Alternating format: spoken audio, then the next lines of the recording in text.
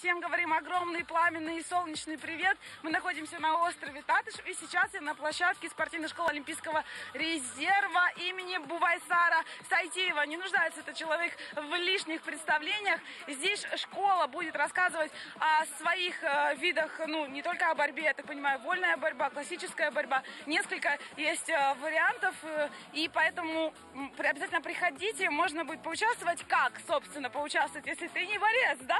Зададитесь вопросом, вы, как и я, собственно, можно сделать будет э, несколько селфи вот с такими э, борцами. Я уверена, они тоже олимпийские чемпионы, вам дадут э, экипировочки, и вы сможете вот так оп-оп и Делать небольшой.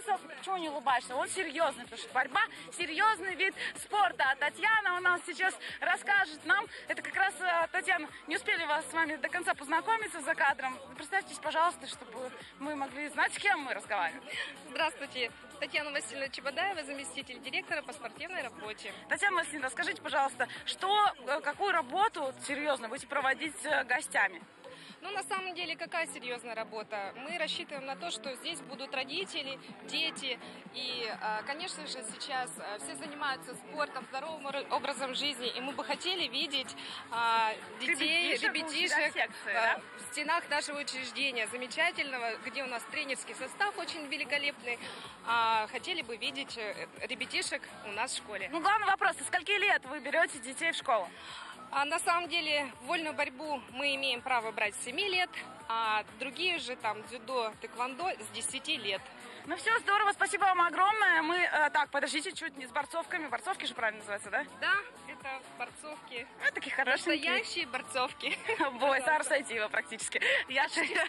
Ну, будущих чемпионов, может быть, да. Это, безусловно, не да, потому что спасибо огромное. Борьба э, в нашем крае развита очень хорошо. Вы, естественно, периодически, аккуратно, Артем, видите новости о том, как э, наши занимают разные пьедесталы по вольной классической борьбе, разным э, другим ее э, подвидам, так скажем. Ну, а сейчас я вас э, э, познакомлю с силовым экстримом. Сейчас немножечко для ускорения. Все-таки перебегу, извиняюсь, что к вам слегка спиной полоборота. И теперь мы находимся на площадке уже силового экстрима. Здесь так достаточно бодро играет музыка и мотивирует нас, силачей. Нас, силачей, сказала я. Но на самом деле, вот, вот это круто. Сибирские силачи, Сергей. Не сибирский, а силачи Енисея. Сибирь большая, а Енисей один. Вот, даже вот так точность Конечно. любят. Итак, расскажите, пожалуйста, что будет на вашей площадке? Я так понимаю, придется серьезно людям напрячься, чтобы показать, что они тоже что-то Ну, могут. только захочешь, конечно, попробуй. Но вообще у нас будет тут силовой экстрим проходить, показательное выступление по силовому экстриму. Будет становая тяга с автомобилем, но мы Вы еще... будете поднимать автомобиль. Да, мы еще будем поднимать ее не просто автомобиль, еще ди- людей туда садить в кузово и с людьми поднимать. И вот на этой штуке у нас будут подниматься шары, бетоны.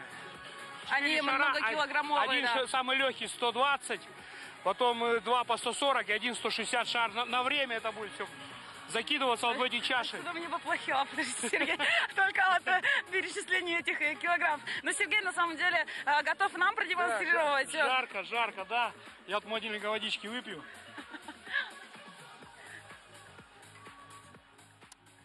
И продемонструю такую вещь. Некоторые рвут там колоды карт, Давайте, да, меня. а мы вот пластиковые бутылки. Утилизируйте, рвем. правильно. Да. Слушайте, я на самом деле даже ножом не могу разрезать. Да? Человек руками, понимаете? Оба!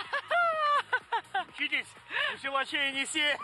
Спасибо огромное. Пожму вам руку с вашего разрешения. Крепкое мужское э, рукопожатие. Спасибо большое. Желаем и надеемся, что вашу площадку соберем. С 8 до 9 вечера. И завтра тоже. Нет, сегодня. Сегодня. Только один день. Только один день. С Не 8 до упустите 9 этот шанс. вечера.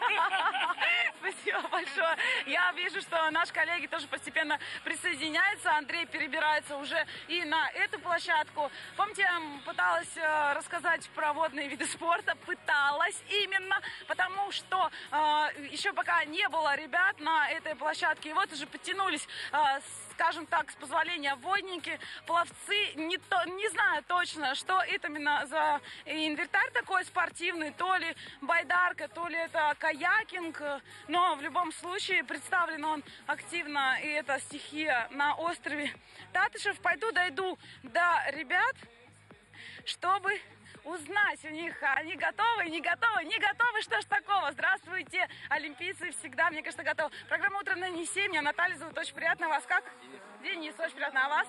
Андрей, очень приятно. Ребята, я так понимаю, водная стихия у вас представлена э, в этой локации. Что именно, какие виды спорта?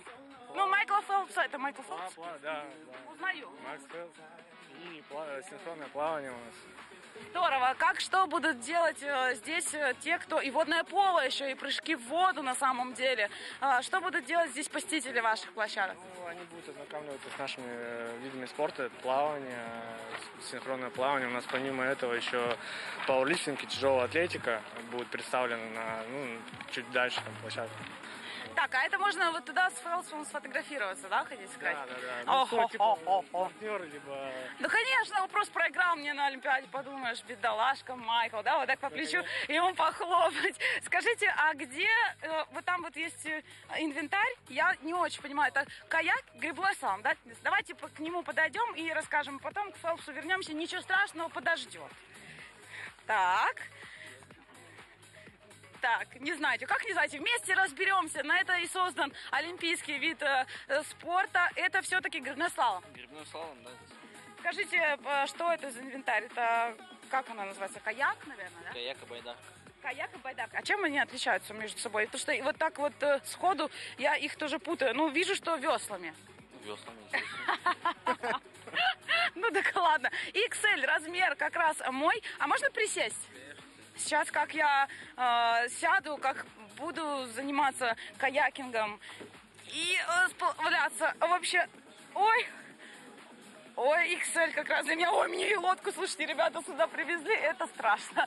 Я, пожалуй, э, не смогу. Я точно как-то снимала одних из э, ребят э, на каче. Они тренировались. Это были да, вот как раз вот э, и занимали они, по-моему, в Европе такие достаточно хорошие призовые места, если не ошибаюсь. И сейчас у них хорошие рекорды. И они мне рассказывали, как, в общем, нужно м, вращать веслом, следить. А почему? А у них разные...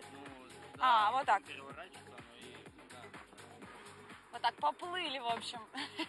Поплыли мы по Енисею.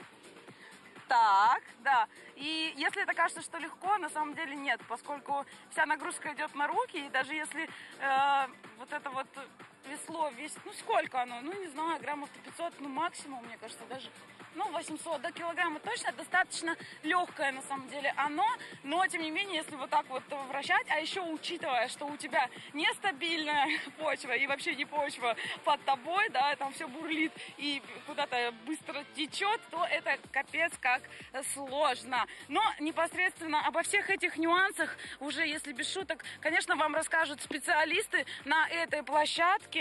И оденут вас в костюм, да, если потребуется. Сможете сфотаться. Побежали скорее, сделаем селфи с Майклом Фелпсом, потому что, ну, некрасиво заставлять олимпийского чемпиона так долго ждать. На самом деле у нас э, в Краснодарском крае есть свои громкие достаточно имена э, в водной, скажем так, водных видах спорта, и про них мы тоже обязательно поговорим.